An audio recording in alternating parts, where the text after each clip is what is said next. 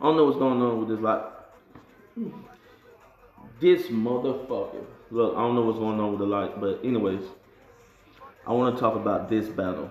This battle in particular. Now, look, esoterically, is it probably a distraction? Yeah, it probably is, but I want to focus and just let's be in the moment for a second. Like, no negativity, no bullshit, all bullshit aside. This is the most beautiful shit I've ever seen. I've been rapping for a long time.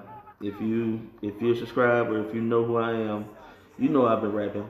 Now, whether you think Gucci won or Jeezy won, we all won. Now, esoterically, I could feel myself getting into this because this shit had roller coasters. Like, it went up, it went down, like, it got tense. Guap was dropping bombs nigga. Guap was dropping bombs on this man. But, like, outside of all the bullshit, like, secretly, I knew this is some Conor McGregor, Floyd Mayweather shit. You feel me? Like, these niggas knew this shit. Even though, like, ain't gonna lie, midway through, I was like, they gonna do so icy to end this shit off. And they did, and it was beautiful. Like, I can't even get mad at it.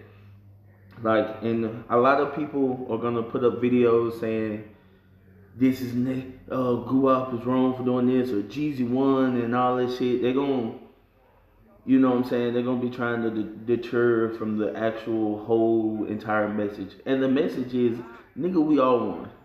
Real shit. Did nobody get swung on? Did nobody get shot? Uh, did nobody get the fighting? Did nobody get jumped? Did nobody die last night? Some niggas probably went broke if they was in Magic City. But still though, like everybody did their thing. And really, it was the most enjoyable moment in internet history for me. I'm dead ass serious. Like, you can talk your shit about what you want to talk about. You know, this man was talking about this, Jeezy was talking about that. This nigga had on this. Gucci was out there looking like a fucking Princess Fiona out that bitch. That nigga was elegant up. But the whole thing is, like, they came together and they did, it was almost poetic when you think about it they ended their beef the same way it started. They came in the game with So Icy and they wrapped it up with a beautiful bow. Like that shit was a movie and we got to see it for free. Nigga, we just got a Gucci Mane Jeezy concert for free. Like in person too. Like damn near felt like I was there. And like I said, this is beautiful as fuck. Like this opened the door for a lot of a lot of boy, especially what's going on with rap now. Like you know what I'm saying, a lot of niggas a lot of rappers out here not making it. They not. They not making it. RIP Von, RIP Mo3, RIP Pop Smoke, uh, RIP FDG, uh, FBG Duck. I probably said that wrong. But a lot of niggas died. And two big heavy hitters in, in Atlanta came together and they brought the city together. Like, even if you are caught up in the mumbo jumbo about who won, just be thankful nobody got hurt and you got to see at least one of your favorites go at it. Like this is amazing. Like I ain't gonna lie, this shit was funny as fuck. Like I said, esoterically, yes, it was probably some type of distraction uh, from a bigger agenda and all that. Trust me, I'll be with the bullshit, but I ain't trying to get my video taken down from YouTube.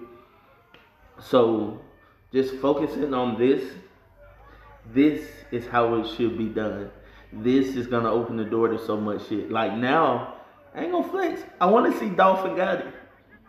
I said it. I wanna see Eminem and Wayne. Or Eminem and Jay-Z. Like nigga, anything is possible now.